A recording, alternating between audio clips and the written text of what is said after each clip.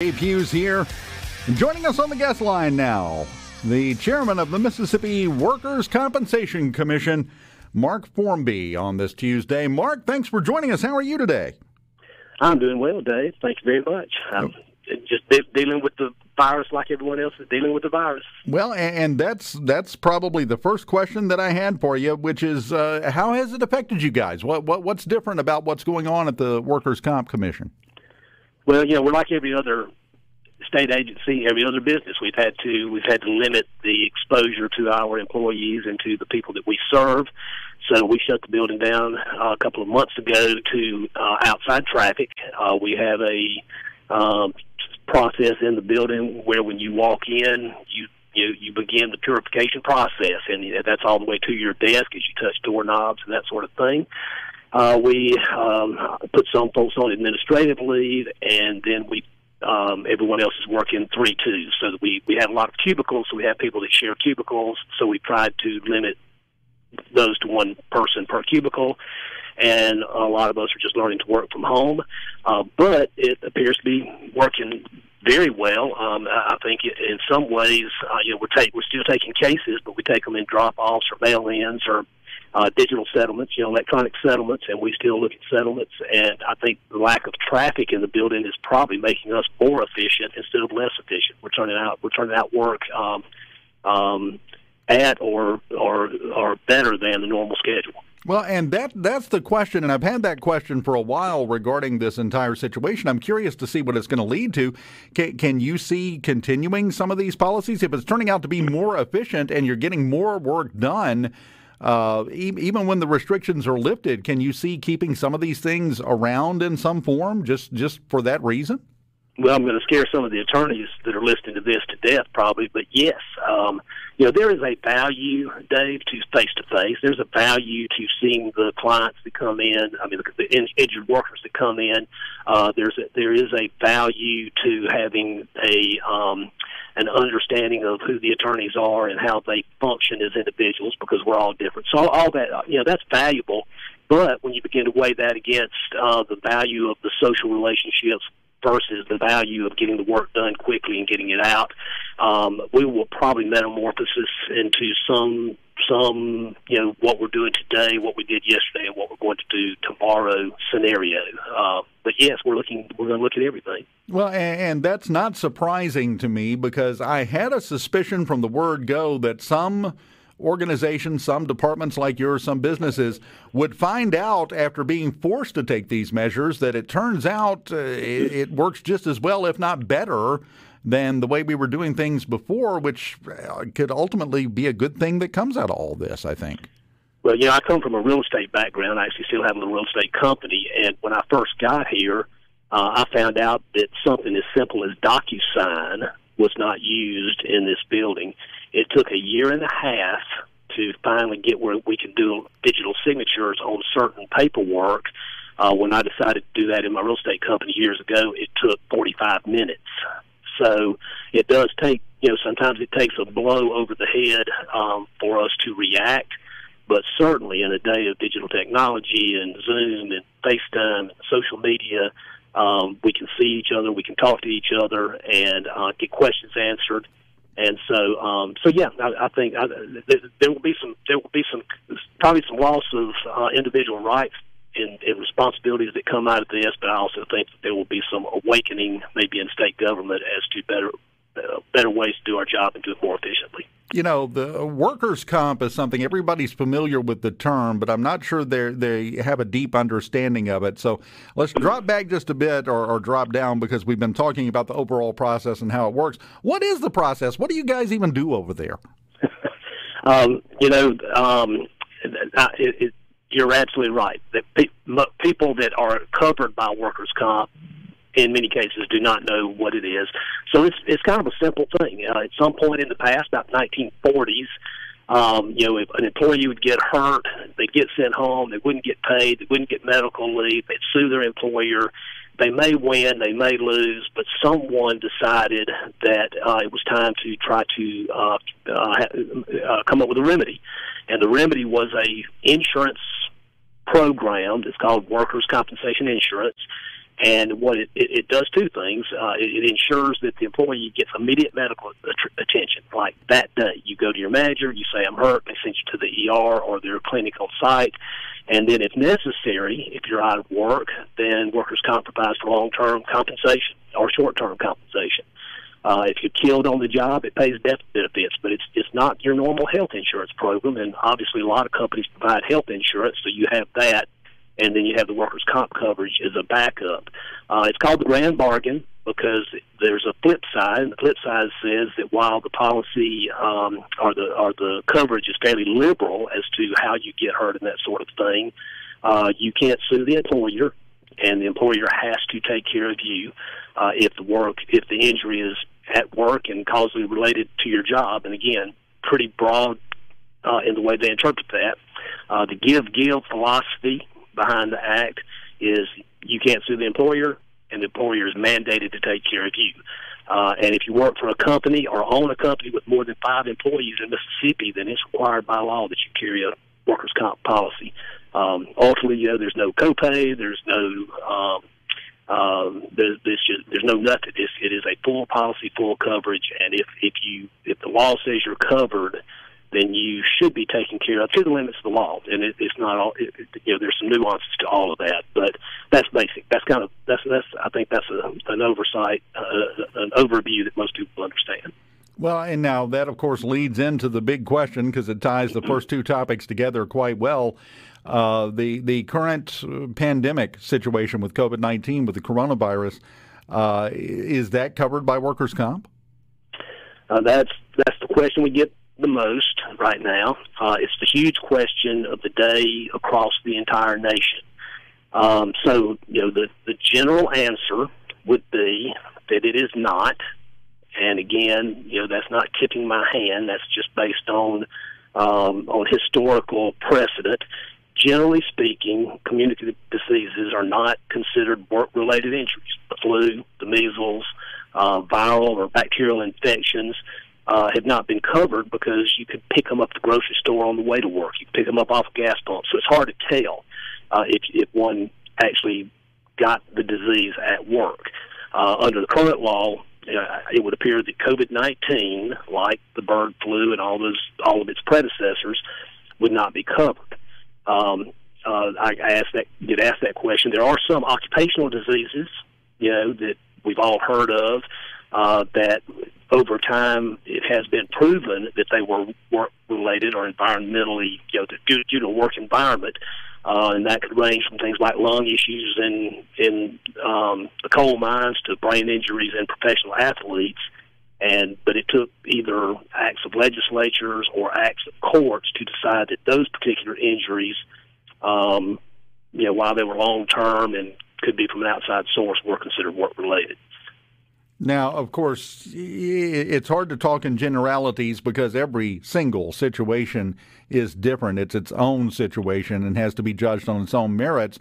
But as as a general rule, uh, does the employer's liability figure into this in regards to did they take the necessary steps and and follow the the guidelines that were outlined by the governor for their business?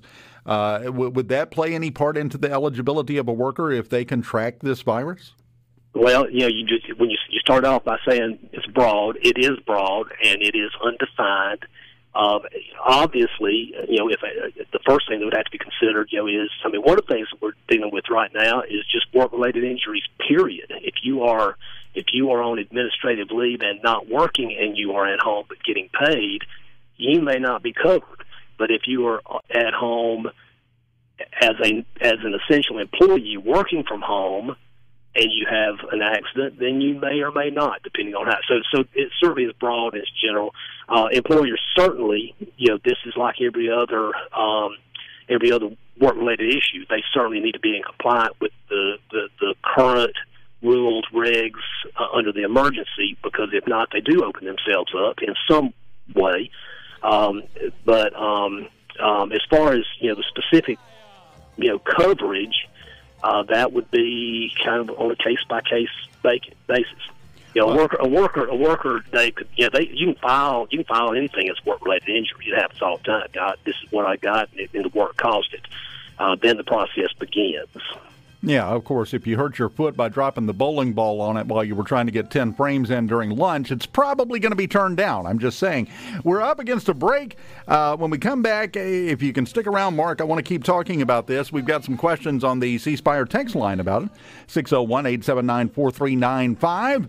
If you have a question, we'll pass it along to Mark Formby with the Mississippi Workers' Compensation Commission. We'll continue the conversation. Mark Formby, chairman of the Mississippi Workers' Compensation Commission. And we've got a question. Uh, you answered this, but I want to get you to re answer it just to clarify this uh, so they'll know for sure. On the C Spire text line said, How many employees is required again? I have five and I'm paying for workers' comp, so I don't have to. I believe you said five or more, right? No, it's five or more. You know, when you get into the code, into the act, there are some variations. If you are the owner of the company, you may or may not be counted in a five man crew. It, it, it gets into subcontracting. But generally, in Mississippi, if you have the fifth employee, then you need to purchase coverage in most fields. Again, there are some exceptions in agriculture. Um, but uh, you know, my answer as as as chairman of the commission is, if you're in doubt, call an insurance provider because you do not want to get caught short because you are liable for those injuries, fully liable. And in a death case, that can be a pretty huge liability if you're not carrying comp insurance.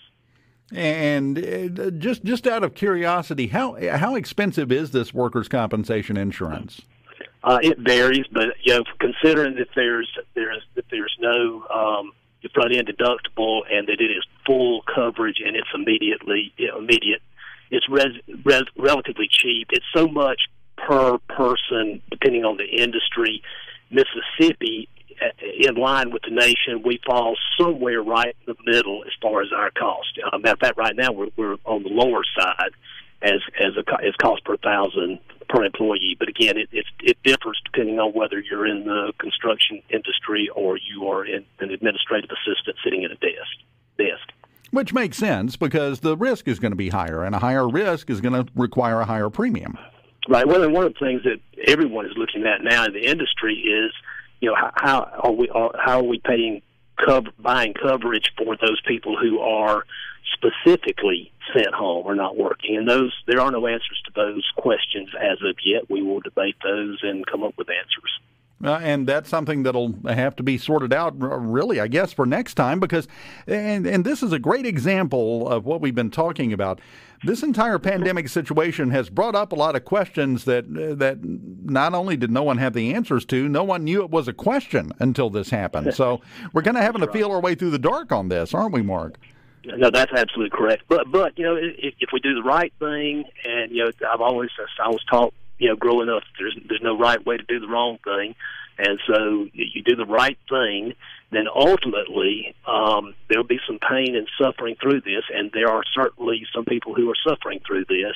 But hopefully that you know we'll learn from it, and on the other side of it, like we said earlier, we'll have more efficient um, uh, not just in state government, but in, in businesses. You know, there are businesses that that are now doing pickup and drive through that never have before. I think some of them will continue to offer some form of curbside because they they figured out how to do it, and there are lots and lots of people who would you know prefer to pick up meals and go home even before this. So, so yes, we all grow, we all learn uh, if we pay attention and attempt to um, do the right thing in each uh, situation.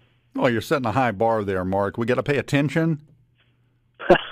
Come on, that's not the way we work, Mark. You know that. Well, yeah, the good thing about my my job is that if I don't pay attention, somebody pays attention for me. For me. So if I don't, if I'm not on it, I hear from somebody pretty fairly quickly.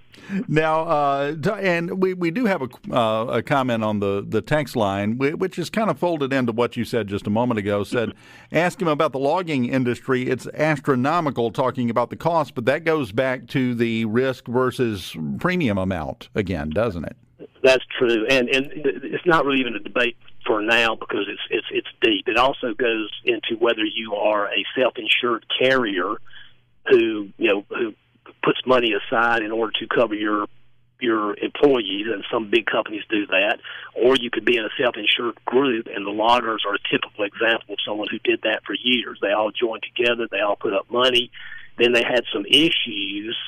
They ended up going not being self-insured anymore. They hired a carrier, but they left a lot of um, um, tail cases that had to be covered, and so they continue to be reassessed to cover those cases. Probably, you know, they, I, I'm sure that I, I agree with that person. I mean, I don't know who put it up there, but I absolutely agree. And by the way, that also, you know, that that presents a learning opportunity for us as we move forward. Now, when we uh, certify self-insured, we look at things differently. We also scrutinize the boards more to make sure, more often to make sure that that they don't get themselves in that bind. And there have been two or three self-insureds that have done that. Uh, there are 115 out there that have not, and three or four, five, just six groups counting the governmental groups that have not. Um, but that's our job, also. By the way, we we look at their annual reports and quarterly reports, and uh, we try, we have to um, certify that they uh, have surplus that they need and that they are that they have the money to cover their workers. And if not, we push them towards uh, or encourage them, or at some point we can mandate that they go and buy other coverage other than their uh, self-insured policies. Uh, I may be rambling, but that's kind of the case. No, no, no. It's good information, Mark. We appreciate it. Uh, back back to the the pandemic situation. Uh, you, you said right now the the baseline rule is it's not covered if you're at work and you get infected with this because of the, the lack of being able to prove it. Uh, have you seen any movements or heard of anything uh, of, of states taking a move towards making that fall under the umbrella and being covered?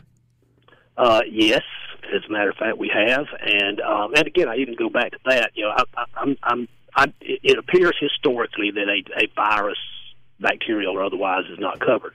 So I'm, obviously, as a someone who would ultimately rule on that, I, I'm not going to say is or is not, but certainly historically it has not. Now, what other states have done, and there's they would start out three or four, then it's five or six, now it's seven or eight, and they're coming on daily. Uh, some by executive order, some by legislative process. Most of these are legislators who have filed bills, but they may or may not even be in session. So, so there's not, you know, there's not any huge uh, um, uh, reality that the laws are changing because, as you know, you find the legislature here, 3,000 bills are filed and 400 become law. So, so lots of bills are being filed. And what these bills do uh, in these different states, and I have looked at most of them peripherally. I've not dug deep into any of them, but the the general um, the general direction is that they they are creating a presumption that if you work in a certain occupation that has high exposure, that it would be presumed that if you got the virus that you got it at work, and then the burden of proof would shift to the employer to prove that you did not. Uh, so most of them obviously are talking about um, healthcare workers and first responders because those are the people who are getting the most exposure and it is mandated by their job. I will say that employee health employees also treat the flu and others and have traditionally for years, but have not been covered. They've been covered by their health insurance for that, but not by workers' comp. So even then, it's dicey.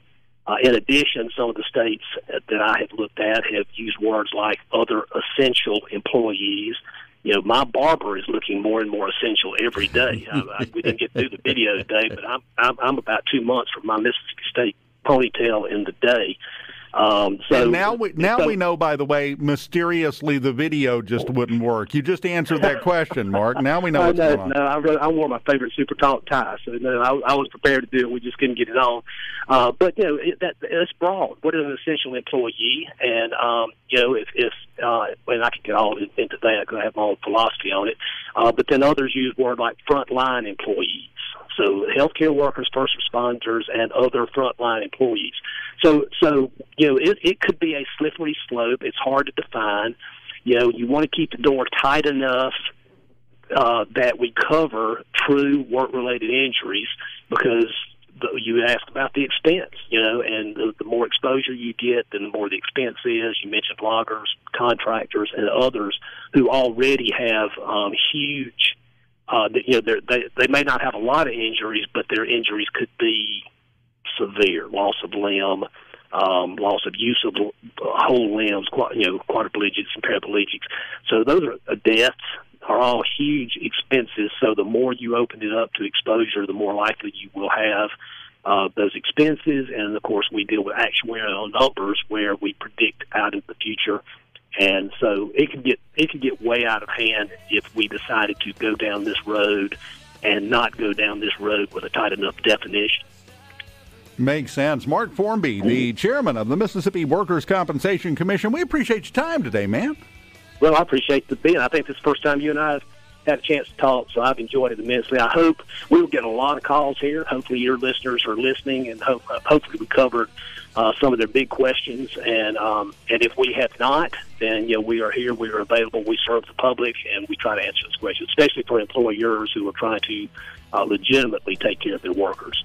Hey, and, and, if we get too many of them, uh, we'll just get you back in here and we'll take another go at it. Mark, we appreciate it so much. It's time for a break. When we come back.